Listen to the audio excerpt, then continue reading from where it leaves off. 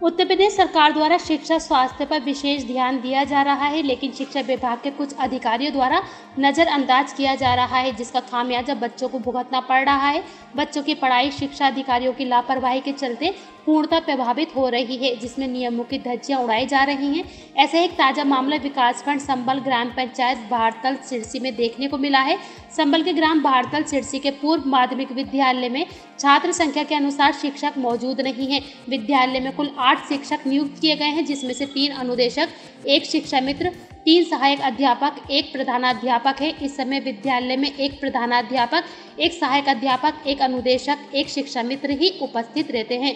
एक सहायक अध्यापक अवधेश कुमार को एआरपी असमोली बनाया गया तथा एक सहायक अध्यापक अभिषेक रस्तोगी को खंड शिक्षा अधिकारी संबल के कार्यालय में अटैच कर दिया गया है। एक अनुदेशक गुलिस्ता अंजुम एक माह से अवैतनिक अवकाश पर हैं। एक अनुदेशक निशा काफ़ी समय से लगातार अनुपस्थित चल रही हैं। विद्यालय में छात्र छात्राओं की संख्या लगभग 406 है। नई शिक्षा नीति के तहत 30 से 35 छात्र छात्राओं पर एक शिक्षक नियुक्त होना चाहिए परंतु शिक्षा विभाग की लापरवाही की वजह से बच्चों के भविष्य पर खतरा मंडरा रहा है। अब सवाल इस बात का है कि इतनी बड़ी लापरवाही के लिए कौन जिम्मेदार है? क्या नाम है साहब आपका? मोहम्मद जी जहाँ पे आप बैठे हैं इस गाँव का नाम क्या है? बहादुर सिंह से जी जहाँ पे आप बैठे कहाँ पर हो आप इस समय? बहादुर सिंह जूना हाई स्कूल बहादुर सिरसी अच्छा तो आप यहाँ पे किस पद पर हैं? प्रधान अध्यापक। प्रधान अध्यापक हैं। तो आपका जो विद्यालय कितनी कक्षा से कहाँ तक है ये? ये कक्षा एक से आठ तक। कक्षा एक से आठ तक है। तो आपके इस विद्यालय में कितने बच्चे पढ़ते हैं टोटल? चार सौ छः बच्चे हैं। चार सौ छः बच्चे पढ़ते हैं। तो यहाँ पर कितने अध्यापक या अध्यापिका हैं? अध्यापक जो है इस टाइम आठ हैं। जी। आठ अध्यापक हैं। जी हाँ चार अध्यापक तीन अनुदेशक एक शिक्षा मित्र। फ़िलहाल हमने देखे इस समय कितने अध्यापक मौजूद हैं अब? चार। चार बाकी अवशेष हैं एक जो है ए आर पी हैं। जी क्या नाम है? असमोली में अवधेश कुमार। जी। दूसरे जो हैं अभिषेक वो बिहार से केंद्र पर हैं। जी जी।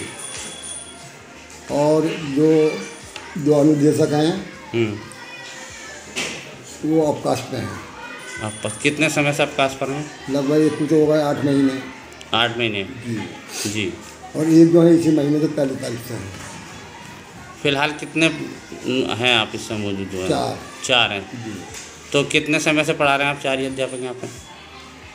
यहाँ पे पहली तारीख से तो चार हैं हम। पहली तारीख से? जी। तो अच्छा ये बताइए कितने बच्चों पे एक अध्यापक का होना अनिवार्य होता? है चालीस बच्चों पर चालीस बच्चों पर तो कितने मिला के अध्यापक यहाँ होने चाहिए?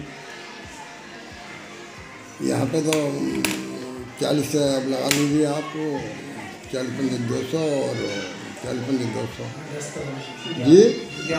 हाँ ग्यारह होने चाहिए। ग्यारह होने चाहिए। ग्यारह के मा स्थान पर मात्र आप आठ का यहाँ पोस्टिंग बता रहे हैं? जी जी। और आठ में से चार उपस्थित हैं हाँ, और चार अनुपस्थित हैं। जी जी जी यानी ग्यारह में से चार है केवल। जी जी। अच्छा आपको ऐसा लग रहा है कि शिक्षकों की लापरवाही से या शिक्षकों की अनुपस्थिति से बच्चों की शिक्षा प्रभावित हो रही है? नहीं नहीं इसका मतलब ऐसा है कि जब जहाँ टीचर कम होंगे तो वहाँ तो परेशानी आएँगी। जी। तो इस संबंध में आपने अपने संबंधित अधिकारियों को बताया कभी लिखित में? दिया उनको मालूम है सर। मालूम है। जी हाँ क्यों? दो तो वहाँ पे ही हैं। भाई आर पी भी उन्हीं से रखे हुए हैं। जी। और एक उन्हीं के ऑफ़िस में है। जो लोग मतलब ऐसा गैरादरी चल रही है इनकी। चलिए ठीक है।